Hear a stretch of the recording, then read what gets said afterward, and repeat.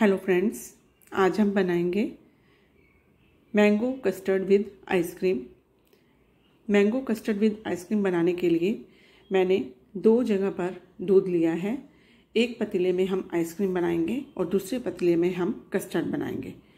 Ice cream बनाने के लिए मैंने एक पतीले में दो गिलास फुल क्रीम मिल्क डाला है और उसको उबलने के लिए रख दिया है। अब उसमें हमने दो पैकेट बादाम मिक्स के डाले हैं, जिसमें इलायची और बादाम का पाउडर होता है, और उसको डालकर हमने उसको बॉयल होने के लिए रख दिया। यह तब तक पकाना है जब तक कि मिल्क आधा ना रह जाए। एक दूसरे पतीले में मैंने एक लीटर दूध लिया है, वह भी फुल क्रीम ही लिया है। उसमें थोड़े से दूध में, ठंडे दूध में दो चम्मच कस्टर्ड पाउडर मिलाया है, और उसको कस्टर्ड पाउडर को उस मिल्क में थोड़े दूध में अच्छे से मिला लेंगे। और जब उसमें बॉयल आना शुरू होगा कस्टर्ड वाले एक लीटर मिल्क में तो आप धीरे धीरे कस्टर्ड वाला दूध, मिला हुआ दूध उसमें मिला देंगे और उसको लगातार चलाते रहेंगे। एक कटोरी चीनी मैंने इसमें ऐड कर दी है और लगातार उसे चलाते हुए हम दो से तीन मिनट तक पका लेंगे। आइसक्रीम में मैंने एक कटोरी ब्रेड क्रम्प डाला है और उसमें हाफ़ कटोरी चीनी ऐड की है। और वो भी अब लगभग हमारी बनकर तैयार हो गई है। कस्टर्ड भी हमारा बनकर रेडी हो गया है। आइसक्रीम को हमने मिक्सर ग्राइंडर में डालकर ठंडे होने के बाद मिक्सर ग्राइंडर में डालकर उसको एक बार घुमा दिया है और उसको फ्रीजर में जमने के लिए रख देंगे।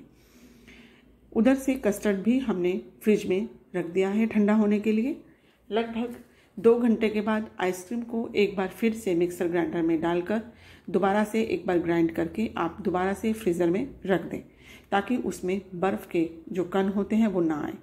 लगभग छः से सात घंटे के बाद दोनों चीज़ें हमारी ठंडी हो गई, आइसक्रीम भी जन पर रेडी हो गई।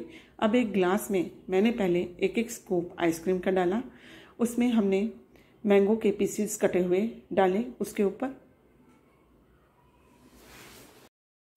मैंगो पीसीस डालने के बाद हम ऊपर से कस्टर्ड डालेंगे।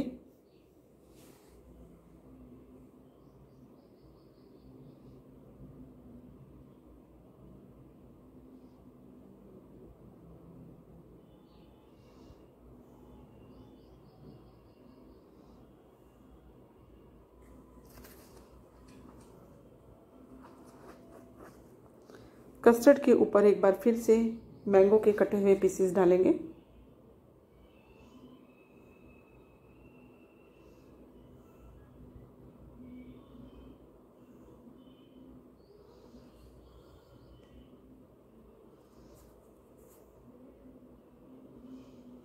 अब हम उसके ऊपर से एक एक स्कूप आइसक्रीम का और डाल देंगे।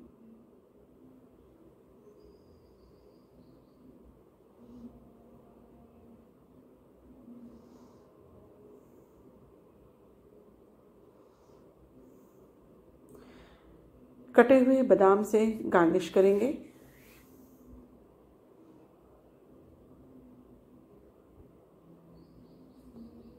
ऊपर से चेरी डाल देंगे।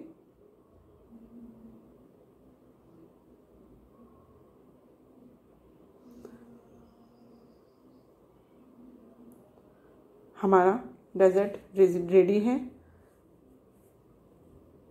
अगर आपको मैंगो कस्टर्ड विद आइसक्रीम की यह रेसिपी पसंद आई है तो प्लीज़ मेरे चैनल हर्ब्स एंड स्पाइसेस को सब्सक्राइब, लाइक और शेयर करना ना भूलें, और एक बार यह रेसिपी ज़रूर अपने घर में ट्राई करें। Thank you.